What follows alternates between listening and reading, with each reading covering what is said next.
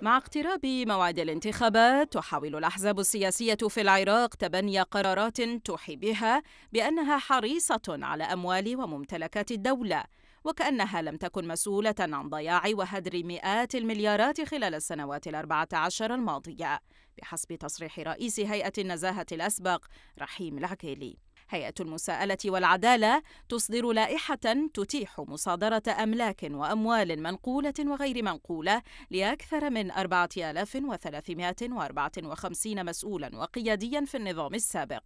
ولم تقتصر المصادرة على القيادات فقط بل شملت زوجاتهم وأبنائهم وتعدت إلى الدرجة الثانية من أقاربهم بل وتضمنت أسماء متوفين أيضاً.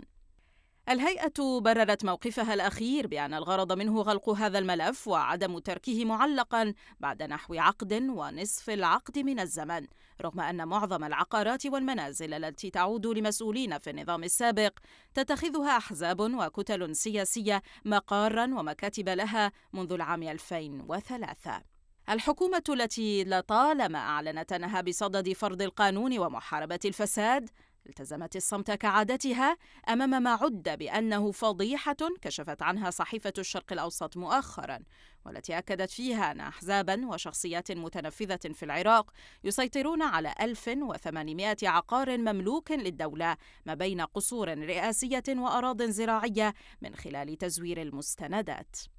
ووصل الفساد والتزوير إلى أملاك المواطنين أيضا إذ بين الفينة والأخرى تشهد مناطق بغداد نزاعات بين مجاميع مسلحة تابعة لأحزاب متنفذة وسكان مناطق في العاصمة بعد سعي أحزاب للاستيلاء عنوة على أراضي بعينها. وتتصاعد وتيرة فوضى مصادرة الأراضي بالتزامن مع ضعف الدولة وتنامي سطوة الأحزاب السياسية التي تستقوي بفصائلها المسلحة. لتفرض ما قيل إنه الأمر الواقع.